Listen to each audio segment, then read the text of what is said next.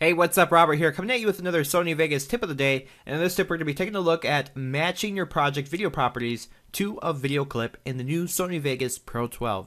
So when I first click and drag a video clip into the project media window, nothing happens. But if I drag it down to the timeline, I get this little pop-up that asks, do you want to set your project video settings to match this media? So I can either hit yes or no, yay or nay. I'm going to go ahead and click yes.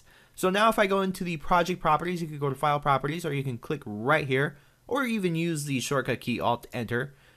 Our template is set at custom 1280 by 720 and you'll see it's at 30 frames per second, which is the frame rate that the footage was shot in.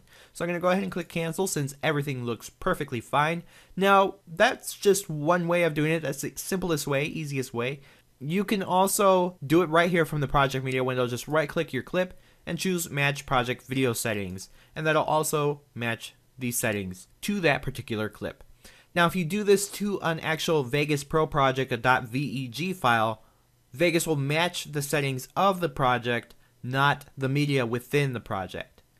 And if you'd like to toggle that prompt on or off when you first drag a video clip to the timeline, you can go to Options, Preferences, and right here you'll see Prompt to adjust project settings to match first media added to the timeline. You can toggle that on or off depending on what you like, what's easiest. I'm going to leave it on since it's really easy to match the project settings. It's just as simple as that, matching your project video properties to a video clip here in Sony Vegas.